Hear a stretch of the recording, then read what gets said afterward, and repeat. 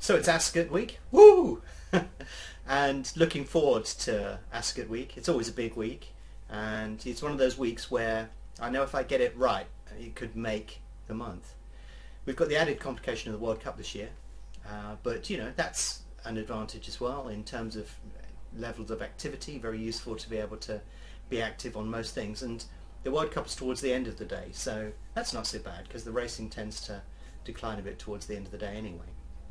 But Ascot has always been a big meeting. I've got some very good results over the years at uh, Ascot, and I'm hoping to do the same this year. You can never prejudge it, but uh, you know there are certain things that come out of the meeting that you see um, very often. So what I've done uh, on the back end of this video is I've uh, been having a look at the spreadsheet that I have collected over a few years to just pinpoint what Ascot looks like, what it feels like, um, and where some of the key points are within the actual race meeting as well.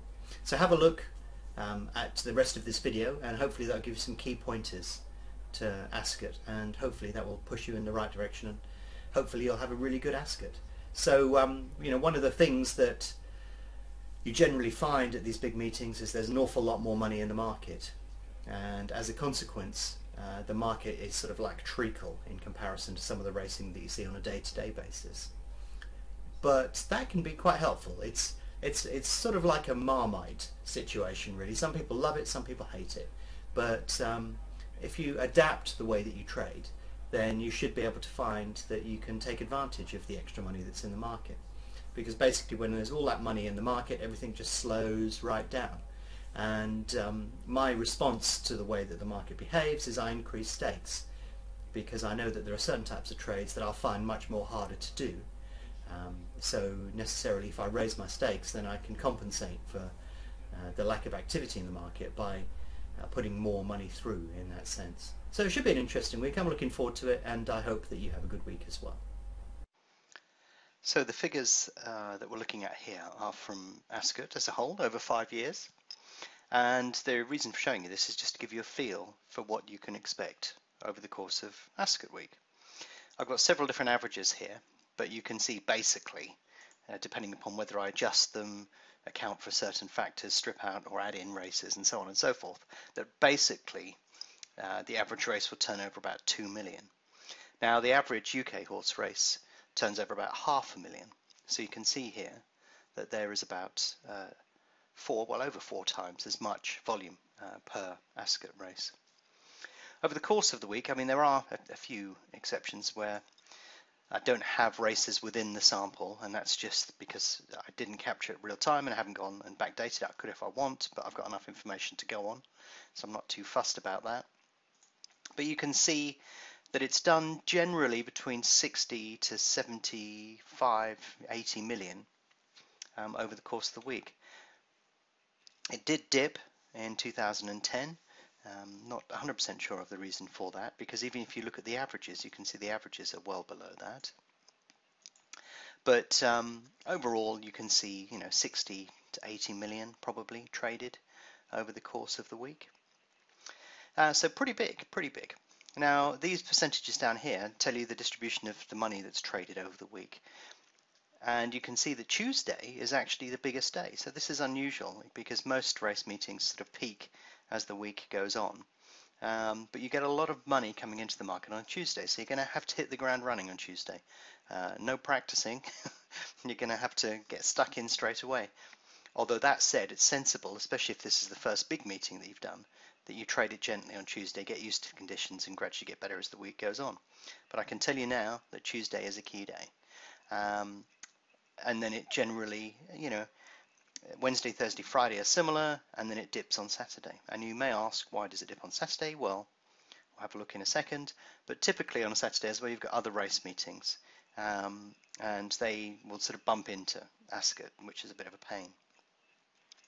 You need to strip out these two distorting um, Saturdays as well in 2011 and 2012 because they significantly distorted the, how the how a Saturday looks. So if you strip out the exceptionals there, then that actually ends up with a much lower figure anyway. So basically Saturday is the quietest day, Tuesday is traditionally uh, the busiest day. Um, what else can we tell from this data? Well, if, if we look in on the individual days, uh, you can get a feel uh, for the week as well. So generally, um, if you look at the Tuesday, the reason that we get more turnover on those days is because we've got three group ones. And you can see we've got group ones on the other days as well, but only one a day, which tends to be the feature race. You can see that there are other group races going on, but you know it's the feature race that generally attracts the volume. So you can see that from within here. So um, feature race obviously occurs mid-afternoon, um, but you can see on Tuesday we've got a big race to start with, and you know, and so on and so forth. So that's why Tuesday tends to be a little bit bigger. I've highlighted um, favourites that were at short prices here because that tends to attract most volume, and you can see that reflected in most of the stats. So um, that's why you can see that Tuesday is a big day. And if we go back to uh, 2012, you can see why we've got some distorting figures in here as well, because Frankel went off at 112 in 2012. How appropriate is that? And turned over 6.1 million out of a total of 6.4 for the race.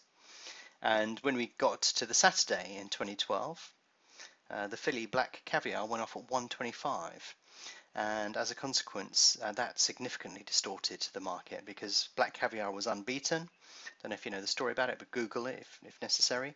I followed her all the way through the Australian markets and that meant that there was a lot of money going on here. Basically, the money just piled in in ridiculous quantities. So as a consequence, um, very short price, enormous amounts of money, 12 million traded just on Black Caviar out of 12 and a half million and that distorted the Saturday figures um, in 2012. Uh, similar in 2011, to be honest, because uh, Frankel went off at 132, and so you think went off at 1.4. So you think, I think, excuse the pun, uh, yeah, we did run in 2012 as well. So 2010 um, was nothing special. I remember thinking this was a bit of a surprise then, but the market rebounded in the next two years. And we go back to uh, 2009, and that market was was fine uh, back then. But generally, uh, you can see the sort of pattern that develops there. Shorter prices generate a lot more volume. The Tuesday is the big day of the week, um, and then generally the Wednesday, Thursday, Friday uh, are fairly similar, and then the Saturday is a little bit quieter depending upon what's going on. But necessarily, that's how the week tends to shape up. Um, hope some of that has been useful for you. Uh, that's maybe given you a little bit of depth that you wouldn't have known about or you haven't seen before. Uh, so all I can do from here is to wish you a really great Royal Ascot. If you're interested in learning more about BetAngel, its tools and the opportunities they present, why not visit betangel.com today to download a free trial.